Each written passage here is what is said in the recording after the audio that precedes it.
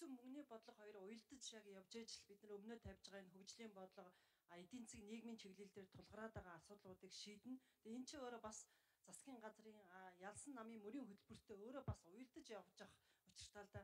Тэрүүн бас хин манай нэг гишүүн хэлж дээ тэр бидний өнөөдөр хамгийн чухал салбар юу болоод байна гэхээр эрүүл мэнд боловсрал ажлын байр гэж байна. Гэтэл ажлын байрыг хаана бий болгоод байна гэхээр хөдөө аж ахуй үйлчилгээний салбар хөдөө аж ахуйн чиглэлийн олон үйлдвэрүүд жижиг дунд үйлдвэрлэл бичиг бизнес эрхэлж байгаа энэ хүмүүс маань бол олон хүнийг ямар ч байсан ажлын байраар төр болоод одоо урт хугацаагаар хангаж байгаа л да.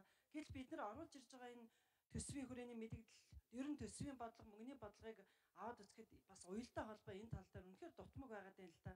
Дөрвөн Сүхбаатар гишүүн дээр бас гарч ийн тэр өнөөдөр Улаанбаатар хот гэхэд 1.3 сая хүн амтай буюу Монголын хүн амын бараг 70 орчим хувийн төлөөлөл энд амьдарч байна. Монголын эдийн засгийн 70 80% нь энд эргэлдэж байна. Цусны эргэлт. Тэгэхээр энэ лөө чиглэсэн эдийн засгийн нийгмийн хөгжлийн бодлого өөрөө маш чухалаар энэ хүрээний мэдгэгдэл тусах ёстой. Төсвийн бодлогоорч мөнгөний бодлогоорч гэсэн.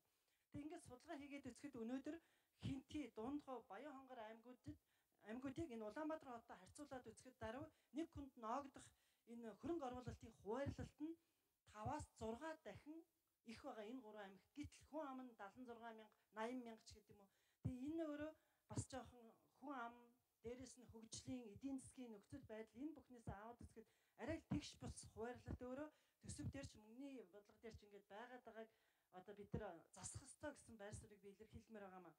Тэр битгээл нийслэлийн Улаанбаатар хотын дүүргүүд хүртэл өнөөдөр орж ирсэн энэ төсвийн хөрөнгө оруулалтын хуваарлалт бол харилцан адилхан байгаа л да. Хаавал дүүргэх гэхэд нэг хүнд ногдох төсвийн хөрөнгө оруулалтын хэмжээ жишээ нь Баянгол юм уу Чингэлтэй дүүргийнхээс 7 дахин их байгаа. За магадгүй хаавал дүүрэх газар ихтэй хэмжээнд тэнд байшин барилга барих гэд хөрөнгө оруулалт ахиу орж ийн гэж нэг талаасаа бас тооцож болно. Энэ бас аргагүй. А нөгөө талаасаа жишээлбэл Чингэлтэй Сунган найрхан Баян зүрх гээд Энэ бол гэр хороололтой маш их агаар хөрсний бохирдолтой яг бидний өмнөө тавиад байгаа нөгөө агаарын бохирдол хөрсний бохирдол гэр хорооллыг орон сууцжуулах дэд бүтцүүлэх энэ хүрээндээ магадгүй энэ дүүргүүдэд илүү их хөрөнгө оруулалт орох шаардлага жишээлбэл байгаад байгаа байхгүй. А хүн амынхын тоогоорч аваад үзэхэд бас л жишээлбэл Чингэлтэй дүүрэг хаан бол дүүрэг хүн ам адилхан байх жишээтэй. 113 мянган хүн амтай байхад нэг аймаг хэд байна вэ гэд бодоод үзээд энэ бас төсвийн хөрөнгө оруулалтын хуваарлалт тал дээр бид нэр нухацтай хандах хэрэгтэй байна. Тэгжээж энэ өмнөө тавьсан том зорилгууд биелнэ. Ялангуяа бид нар одоо яриад байгаа тэр ажлын байр өнөөдөр хамгийн хэцүү байна. Бид нар энэ жижиг дунд үйлдвэрлэл, бичил бизнес, хөдөлмөр эрхлэлтийг дэмжих сан гэд энэ чиглэлүүдээр жишээлбэл нэлээд бодлоготой арга хэмжээ авч сар дахлын энэ хүндрэлийг авч гарнаа. Бид нар халамжийн орон биш хөдөлмөрийн одоо шүтсэн улс орон болъё гэдэг хэрнээ орж ирж байгаа төсөв бодлого ингээл аваад үзэхэд дахиад энэ чиглэл рүүгээ орчин байдал ажиглагдаад байна шүү дээ. Хөрөнгө оруулалтын тэгш бас хуваарлалт хүн ам хөгжлийн бодлогоо дагсан биш байгаа байдал нь өөрөө олон нийтийн зүгээс бас шүүмж дагуулж байна. Зарим талаасаа бухимдалж дагуулж байна.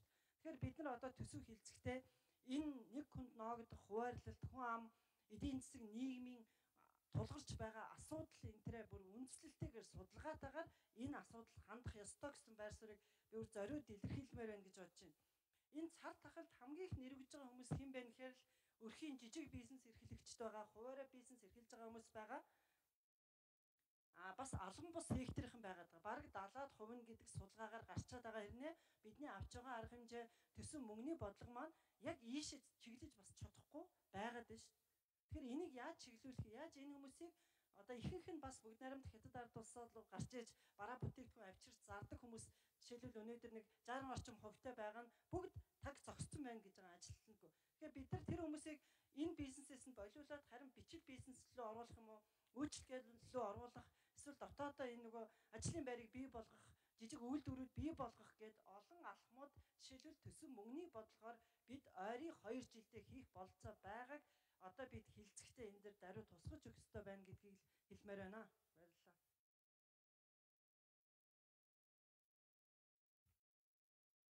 За одоо эрхэм гişүн Хүрэл Баатрин болгон туяа. За одоо энэ